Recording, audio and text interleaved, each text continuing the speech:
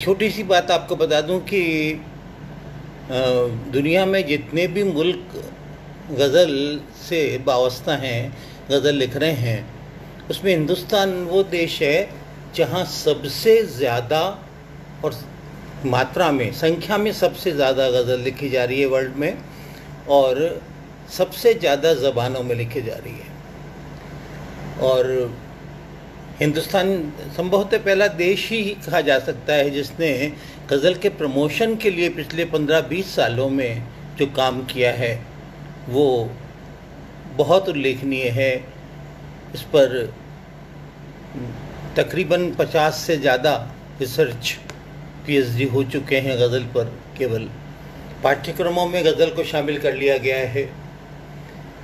गज़ल पर सेमिनार्स जितने होते हैं और जो छोटे पत्र पत्रिकाएँ, जितने भी बड़े से बड़े अखबार देश के और पत्र पत्रिकाएँ, अपने परिशिष्टों में सबसे ज़्यादा गज़ल को छापती हैं आजकल।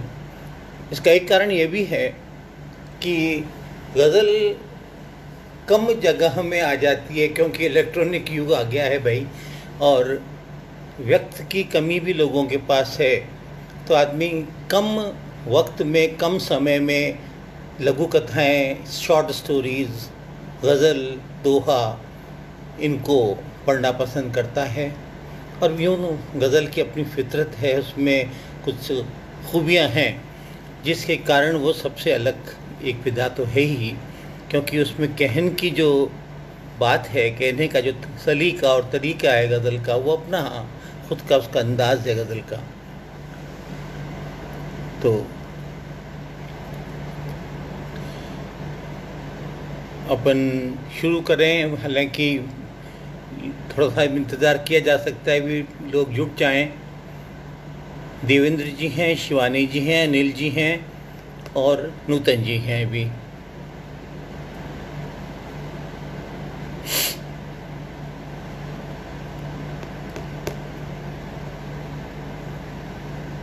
चलिए लोग जुड़ते जाएँगे।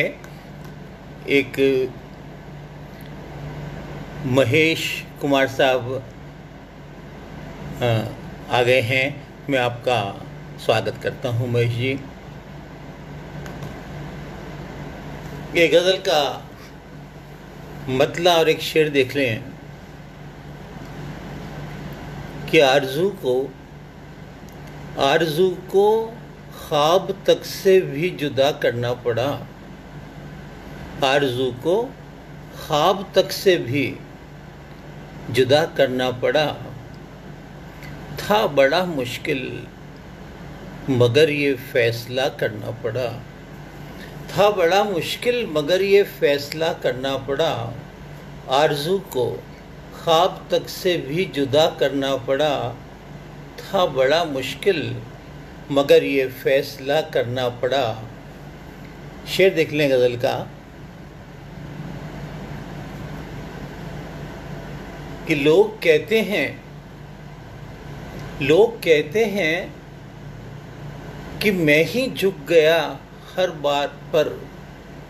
लोग कहते हैं कि मैं ही झुक गया हर बात पे। क्या बुरा है?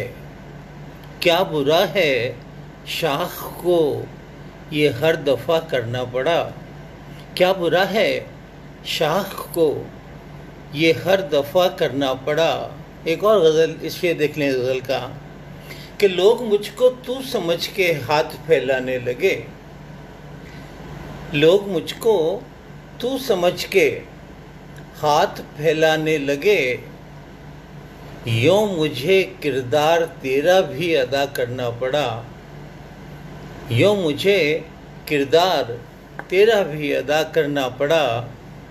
था बड़ा मुश्किल, मगर ये फैसला करना पड़ा आरज़ू को। ख्वाब तक से भी जुदा करना पड़ा। शुक्रिया। इसी बहर में गज़ल का मतला एक दो शेर देख लें कि याद के सब रंग, याद के सब रंग गमलों से चुरा के ले गया। उमेश जी, अनिल जी, महेश जी, तशरीफ़ ले आए हैं। मैं आपका इस्तकबाल करता हूँ कि याद के सब रंग गमलों से चुरा के ले गया। दर्द मेरा था, जिसे अपना बता के ले गया। याद के सब रंग गमलों से चुरा के ले गया। याद के सब रंग गमलों से चुरा के ले गया। दर्द मेरा था जिसे अपना बता के ले गया। शेर देखें कि लाख मैंने कह दिया, वो शाद हो, आबाद हो। लाख मैंने कह दिया, वो शाद हो, आबाद हो। पर दुआ किस काम की? पर दुआ किस काम की? जो दिल दुखा कर ले गया। पर दुआ किस काम की जो दिल दुखा कर ले गया? लाख मैंने कह दिया, वो शाद हो, आबाद हो, पर दुआ किस काम की जो दिल दुखा कर ले गया?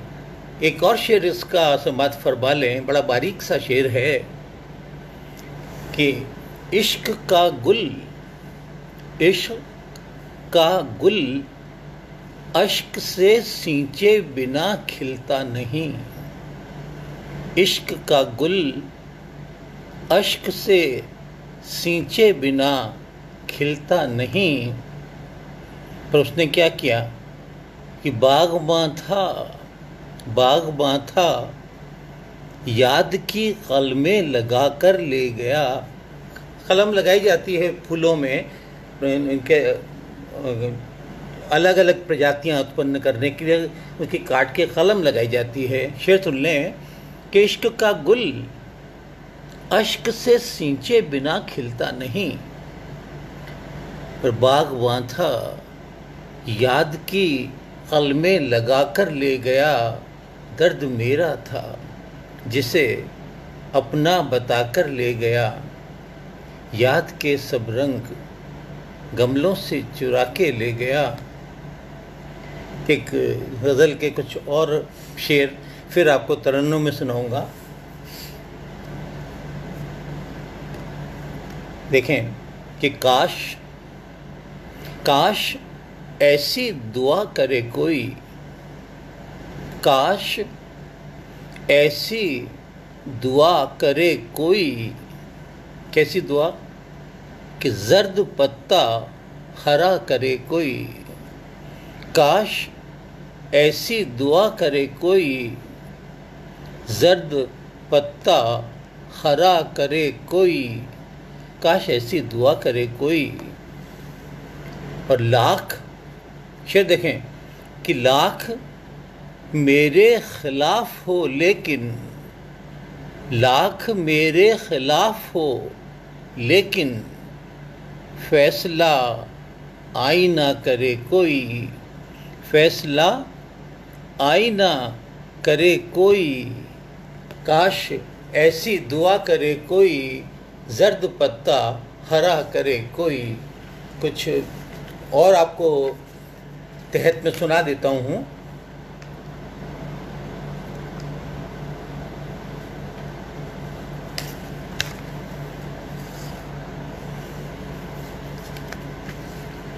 बड़ी बहर भी गज़लों में बहुधा लिखी जाती हैं। दो तीन शेर देख लें, बड़ी बहर एक है उस पर। यूँ तो फैलून की बहर है।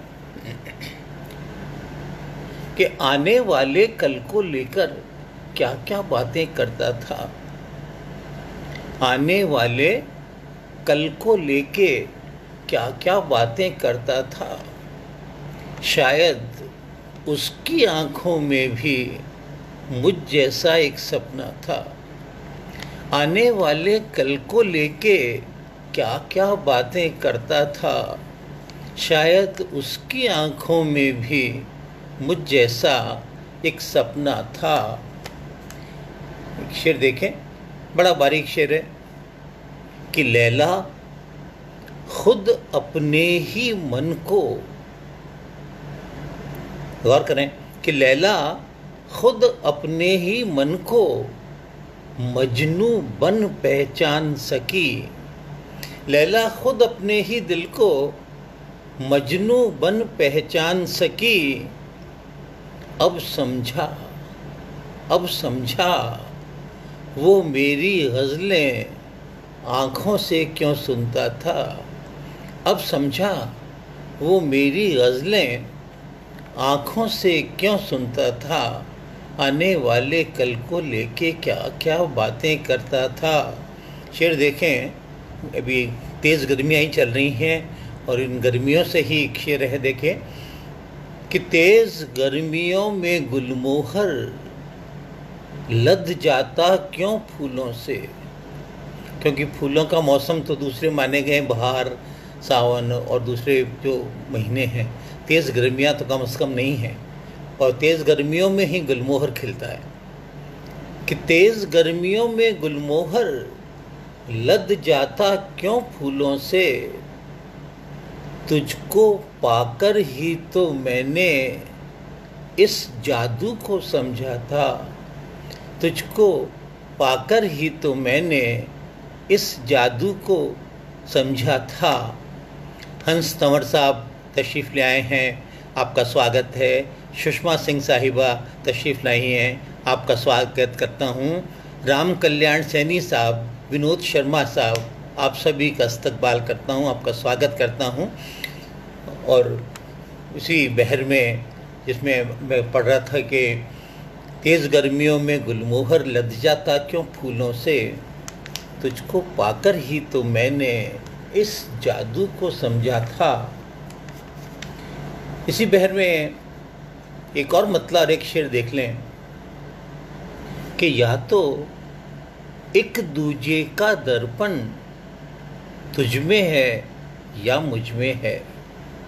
या तो एक दूजे का दर्पण तुझ में है या मुझमें है। या खुद अपने पे सम्मोहन तुझ में है या मुझमें है। या खुद अपने पे सम्मोहन तुझ में है या मुझमें है? शेर देखें, बारीक शेर है। याद को लेकर एक नया प्रयोग ही माने इसको आप। कि खुशबू आती मेरे तन से, खुशबू आती मेरे तन से, जब तू याद करे मुझको, खुशबू आती मेरे तन से जब तू याद करे मुझको, कौन कहे यादों का चंदन, तुझ में है या मुझमें है? कौन कहे यादों का चंदन, तुझ में है या मुझमें है? या तो एक दूसरे का दर्पण। आखिरी शेर देखें, मैं कॉमर्स का ही तो प्रोफेसर रहा और कभी मेरा विषय भी इकोनॉमिक्स रहा है। तो अपने विषय की बात कहीं ना कहीं गज़ल में आ जाती है, पर लेकिन वो मीठी बन के आए तभी शेर होता है, वरना नहीं हो सकता। शेर देखें कि चुटकी भर देकर, चुटकी भर देकर, मुट्ठी भर पाने की उम्मीद करे। चुटकी भर देकर, मुट्ठी भर पाने की उम्मीद करे। रिश्तों में भी एक महाजन तुझ में है या मुझमें है? रिश्तों में भी एक महाजन तुझ में है या मुझमें है? या तो एक दूजे का दर्पण तुझ में है या मुझमें है? या खुद अपने पे सम्मोहन तुझ में है या मुझमें है? दो एक शेर और देख लें, दूसरी इसी बहर में दूसरी गज़ल है कि सबसे ज़्यादा अपनों से, सबसे ज़्यादा अपनों से मन गुस्सा क्यों हो जाता है? सबसे ज़्यादा अपनों से मन गुस्सा क्यों हो जाता है? मुझसे मिलकर तू भी अक्सर तनहा क्यों हो जाता है?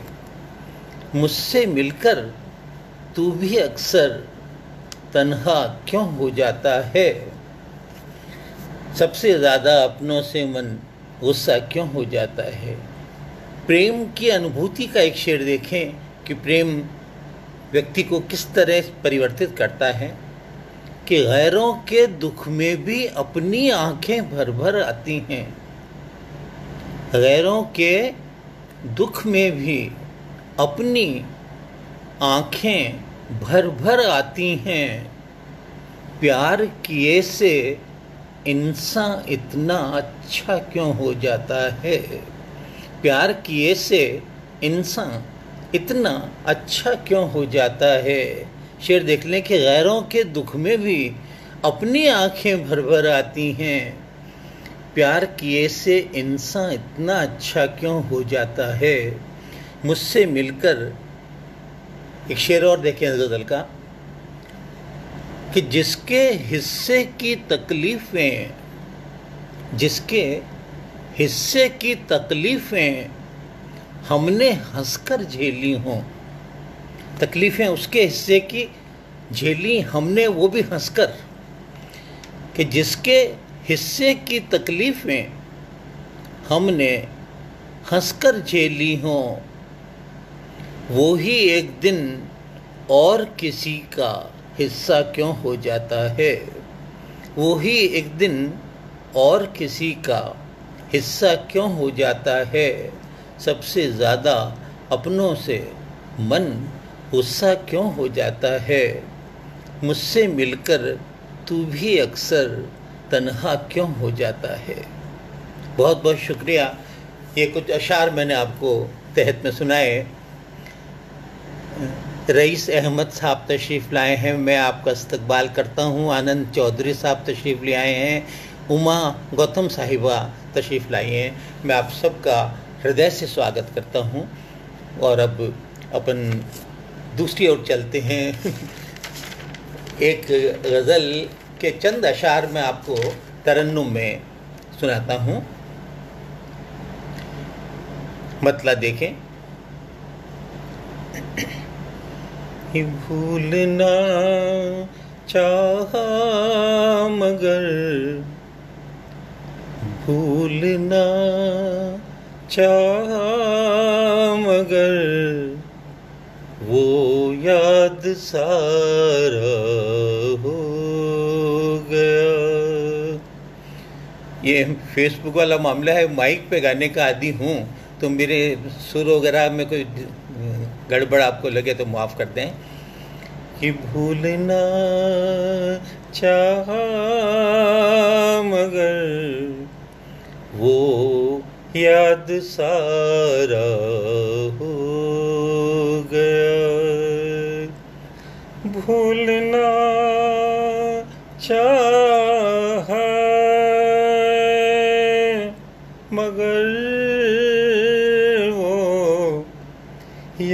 याद सारा हो गया। ज़िंदगी में एक ही मंजर दोबारा हो गया। ज़िंदगी में एक ही मंजर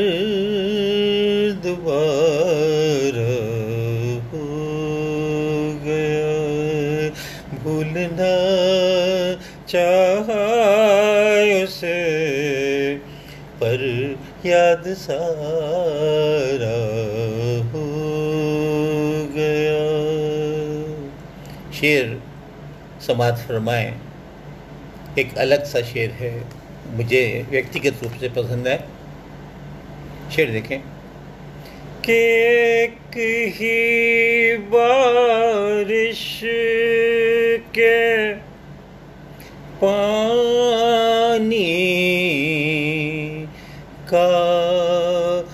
मुकद्दर देखिए।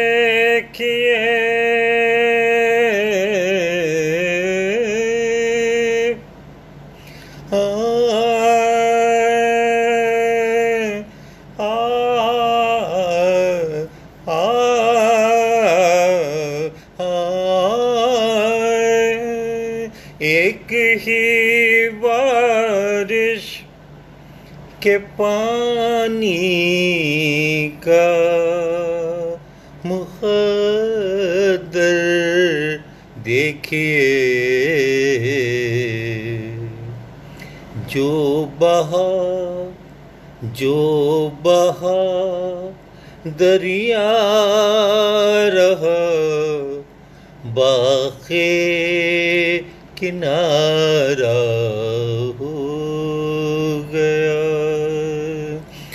जो बहा दरिया रहा बाखे किनारा हो गया। एक ही बारिश के पानी का मुकदर देखिए, जो बहादरिया रहा। बाखे किनारा हो गया। शेर देखें। जो रही इस ज़िंदगी में वो कमी भी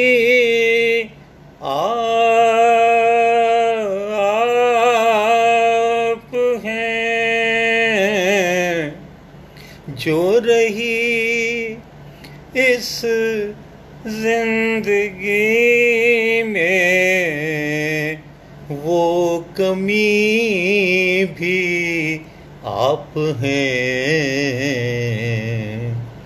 इस तसल्ली से सही अपना गुजारा इस तसली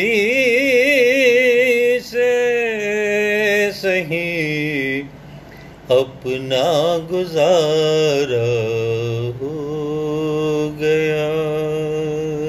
जो रही इस ज़िंदगी में, वो कमी भी आप हैं। इस तसल्ली से सही अपना गुजारा हो गया। आखिरी शेर समाप्त फरमाने गज़ल का। एक उजड़े पेड़ पर बैठे परिंदे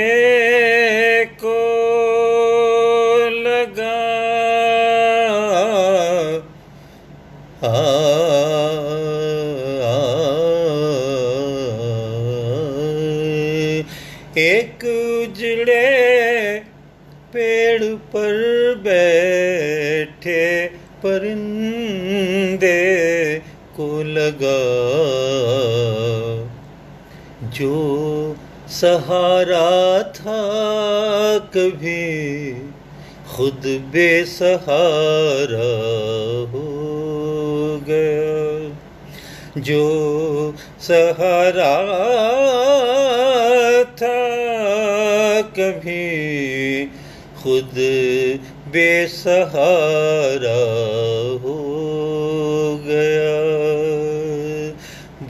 भूलना चाहा उसे, पर याद सारा हो गया। ज़िंदगी में एक ही मंजर दोबारा हो गया। बहुत बहुत शुक्रिया आप सबका। तरन्नुम में सुनना चाहेंगे, या तहत में आप आदेश कर दें लिखकर, मैं वैसे ही गज़ल पढ़ देता हूँ। तहत में ज़्यादा गज़लें पढ़ लूँगा तरन्नुम में कम गज़ल पढ़ पाऊँगा, जैसा आप आदेश करेंगे।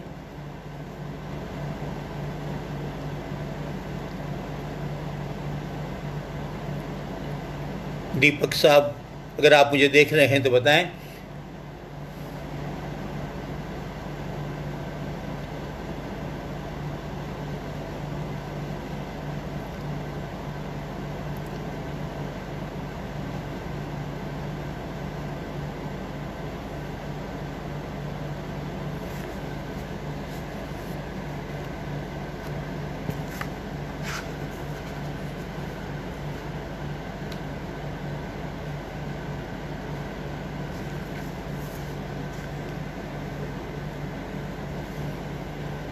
तरन्नुम और तहत का निर्णय आप कर लें, तब तक मैं चार पाँच अशार एक गज़ल के तरन तहत में पढ़ के आपको सुना देता हूँ कि मुक्त सर थी छोटी, मुक्त सर थी याद, उसको मुँह जबानी हो गई।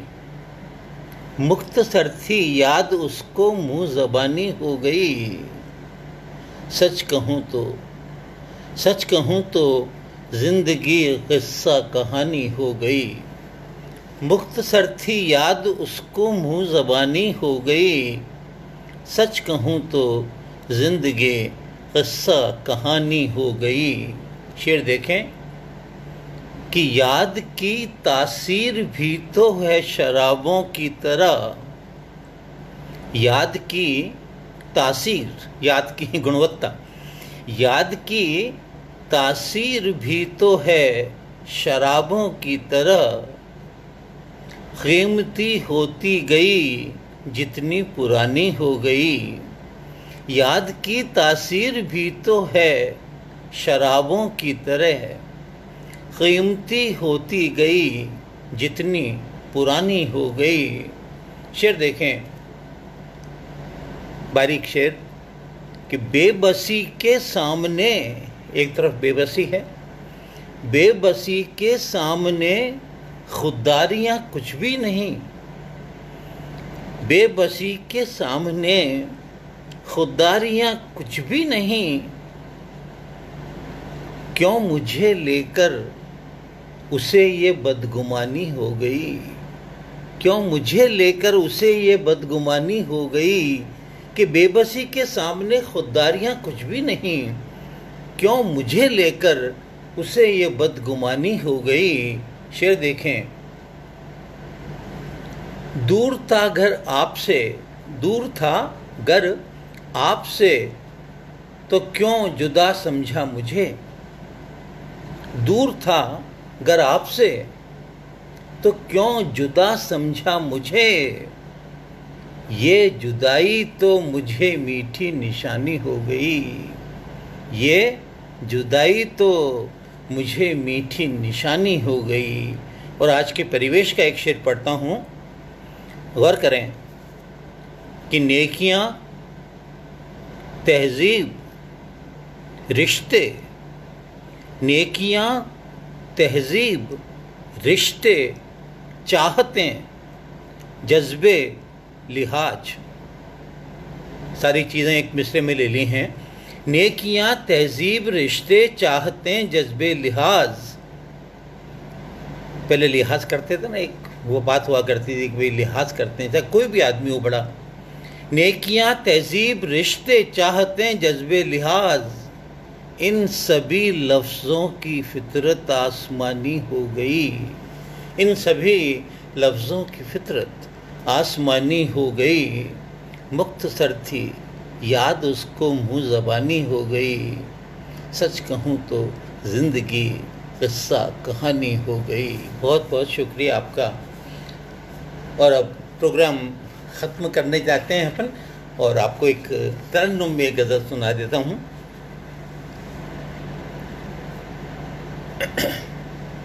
इसकी एक पृष्ठभूमि छोटी सी समझ लें। बहुत सारे अलग अलग शेर निकलेंगे मूलतः है, मैं तो कम अज़ कम गाँव से माइग्रेटेड व्यक्ति हूँ।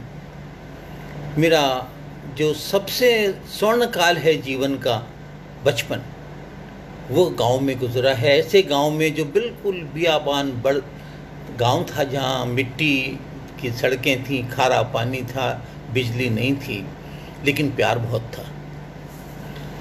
तो जब महानगरों में आके बस जाते हैं लोग, अपने गाँवों से बड़े बड़े व्यवसाय हो जाते हैं उनके, तब भी कहीं ना कहीं दिल में वो गाँव भुलाया नहीं जाता। क्योंकि बचपन की स्मृतियाँ इतनी घनीभूत होती हैं कि उनसे किनारा भले ही कर लो, भुलाया नहीं जा सकता। उसी पृष्ठभूमि की एक गज़ल है, उसमें दो तीन शेर उस पृष्ठभूमि के आएँगे, गज़ल पढ़ता हूँ। आप लोगों का आशीर्वाद चाहूँगा। गाँव बुलाता है तो जाना पड़ता है।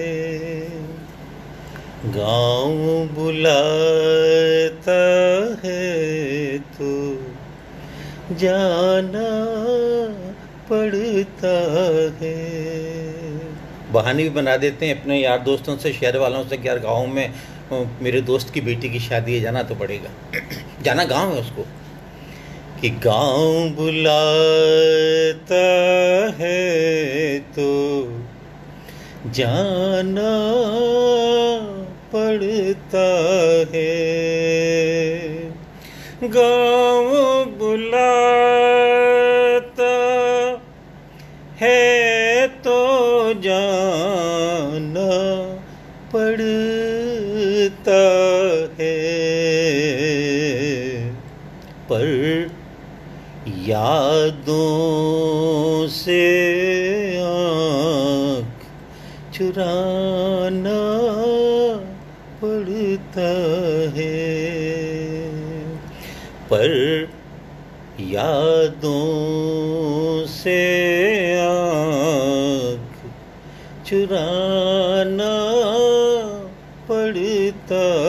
है। शेर देखें। तो चुप कैसे? तू चुप कैसे? दिल में आके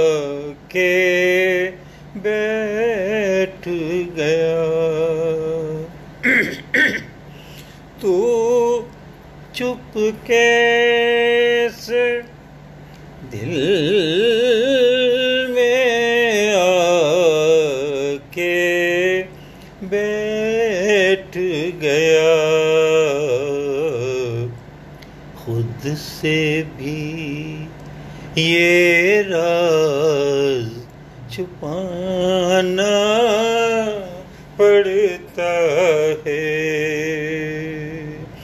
खुद से भी ये राज छिपाना पड़ता है।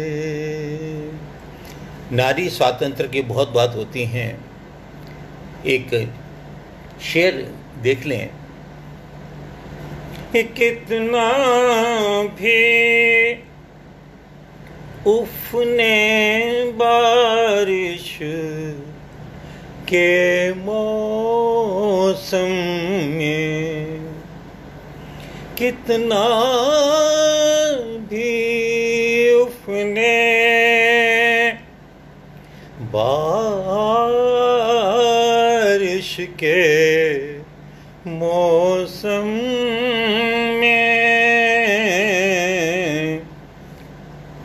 नदियों को बंधन में आना पड़ता है। नदियों को बंधन में आना पड़ता है।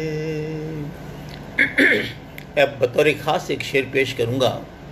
जिसकी लहजा, जिसकी कहन बिल्कुल अलग है। और आप याद कर लें कि अगर आप गाँव के स्कूल में आठवीं क्लास में पढ़ते हो तो लड़का और लड़की में कोई भेद नहीं हुआ करता था। और तू कह कर ही बात करते क्लासमेट आपस में, आज भी जो बहुत बड़े बड़े दोस्त मेरे आ जाते हैं और तू तू कह के बोलते हैं तो बच्चे कहते हैं, आपको तू बोलता है ये? मेरे साथ पढ़ा हुआ है। शेर देखें आप। कि तू जिसकी इमली खाने को मरती थी। लोग कहते हैं कि शायरी की ज़बान नहीं है, लेकिन बात कहनी हो तो ज़बान का कोई फ़र्क नहीं है। तो जिसकी इमली खाने को मरती थी। रस्ते में वो पेड़ पुराना पड़ता है। रस्ते में पुराना पड़ता है। तू जिसकी इमली खाने को मरती थी, रस्ते में वो पेड़ पुराना पड़ता शेर देखें कि तू बड़ा बारीक सा शेर है। कि तू मेरी किस्मत से ज़्यादा क्यों निकला? एक नया मिसरा दे रहा हूँ आपको। कि तू मेरे तू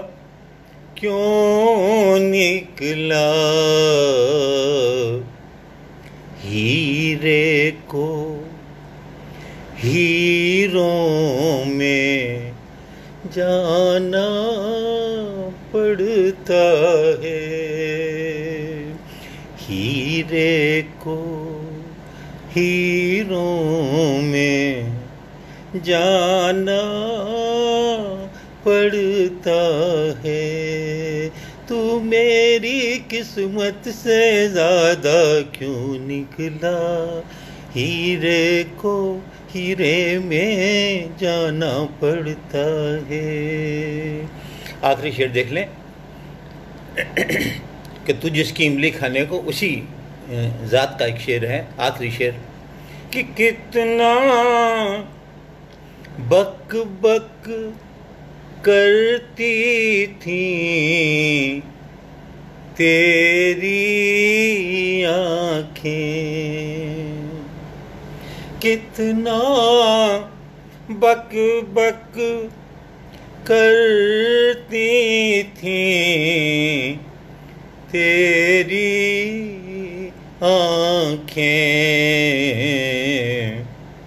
मुझको उनका कर्ज चुकाना पड़ता है। मुझको उनका कर्ज चुकाना पड़ता है। गाँव बुलाता है तो जाना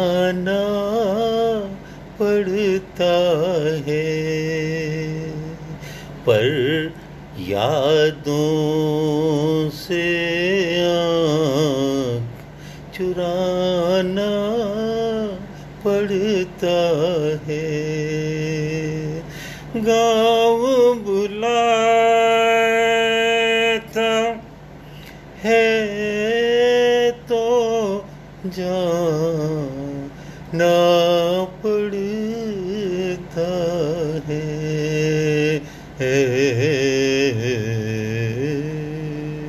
बहुत बहुत शुक्रिया आपका। आपको, गज़ल कैसी लगी वो तो आप बताएँगे। और मेरे ख्याल से एक सभा में इतना कुछ बहुत है। आप सब लोगों ने बहुत इतनी मोहब्बत से सुना। आप लोग सब हाजिर हुए अपना कीमती वक्त निकाल के। ये मेरी खुशकस्मती है। और मैं देवेंद्र साहब और अशोक भाई साहब का विशेष आभार व्यक्त करता हूँ, जिन्होंने जन सरोकार मंच से मुझे जोड़ा और आपके सामने अपनी बात कहने का मौका भी दिया। आप सबका बहुत बहुत शुक्रिया। फिर मिलेंगे। नमस्कार।